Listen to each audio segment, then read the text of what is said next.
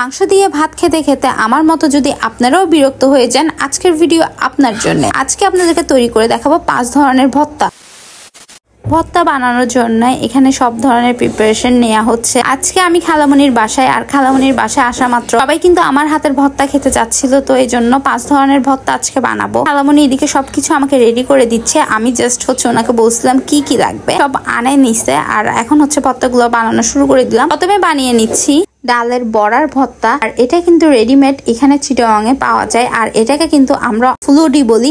আপনারা কে কি নামে বলেন অবশ্যই কিন্তু জানাবেন। ফুলুডি গুলো কিনে আনার পরে হাত দিয়ে একটু ভেঙে নিলাম। এরপরে পেঁয়াজ কুচি, ধনিয়া পাতা কুচি, কাঁচামরিচকে একটু সামান্য তেলে নিয়ে নিয়ে নিলাম। আরও দিয়ে দিলাম স্বাদ মতো লবণ ম্যাজিক মশলা আর পরিমাণ মতো সরিষার তেল। এই সব কিছু দিয়ে ভালো করে ভর্তাটা মাখিয়ে নিতে হবে। আর ভর্তার মজা কিন্তু যত ভালোভাবে মাখানো যায়, ওটাতেই বেশি ভর্তাটা মজা হয়। তো আমিও ভর্তাগুলো ভালো করে মাখিয়ে নিলাম। এই হলো আমার ফুলরির ভর্তা। ফুলরিটা আপনারা কে কি নামে বলেন অবশ্যই কিন্তু আমাকে জানাবেন। এরপরে করে ফেললাম পোড়া বেগুনের ভর্তা। বেগুনটা আগে পুড়িয়ে রেখেছিল খালামনি। তো খালামনি আমাকে সব রেডি করে দিছে আজকে। ভর্তাগুলো শুধু আমিই মাখাচ্ছি। তো পুরা বেগুনটা ভালো করে হাত দিয়ে ম্যাশ করে নিলাম।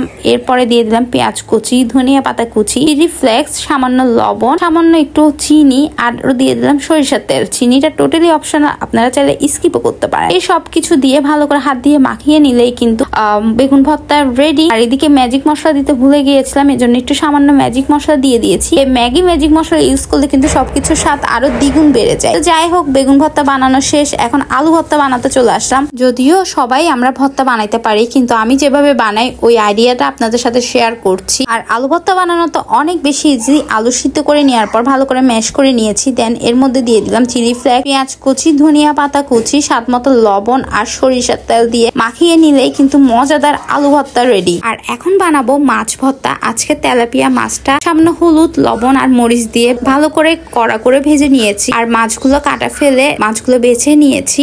কাঁচামরিচ একটা প্যানের মধ্যে এভাবে টেলে নিয়ে এগুলো নিয়ে নিলাম, আর এর মধ্যে দিয়ে দিলাম পেঁয়াজ কুচি আর ধনিয়া পাতা কুচি। মাছ ভর্তাটা একটু ঝাল ঝাল হলে খেতে বেশি ভালো লাগে এই জন্য অনেকগুলো কাঁচামরিচ দিয়ে দিয়েছি এখানে। আর এই টালা কাঁচামরিচ দিয়ে এই মাছ ভর্তা খেতে কিন্তু অসাধারণ। যারা যারা ট্রাই করেননি, আপনারা কিন্তু অবশ্যই ট্রাই করবেন। তো এদিকে আমি সাত মতো লবণ আর সরিষার তেল দিয়ে মরিচ আর পেঁয়াজটা, ধনিয়া পাতা সহ ভালো করে কচলিয়ে নিয়েছি, আর এখন এই সব কিছু মাছের সাথে ভালো করে মিক্সড করে নিচ্ছি, আর এখানে কিন্তু ম্যাগি ম্যাজিক মশলাও দিয়েছি স্বাদ মতো। তো এই সবকিছু একসাথে মাখিয়ে নিলে কিন্তু মাছ ভর্তাটা রেডি সব শেষে আমি একটু লেবুর রস আর লেবুর খোসা সবুজ অংশটুকু হালকা করে দিয়ে দিচ্ছি। এতে করে নাইস একটা ফ্লেভার আসে। আর আপনারা লেবুর খোসা দেওয়ার সময় অবশ্যই কিন্তু শুধু সবুজ অংশটুকু দিবেন। সাদা অংশটুকু যাতে না আসে, ওইটা খেয়াল রাখবেন। কেননা সাদা অংশটুকু দিলে কিন্তু ভর্তাটা তেতো লাগবে খেতে। যাই হোক, এই তো আমার এই মজাদার মাছ ভর্তা রেডি আপনারা কিন্তু এই ভর্তাটা বাসায় অবশ্যই ট্রাই করবেন। আর এগুলো হলো রসুনের আচার। এটা খালামনি বাসায় বানিয়েছে। আর এটা খেতেও কিন্তু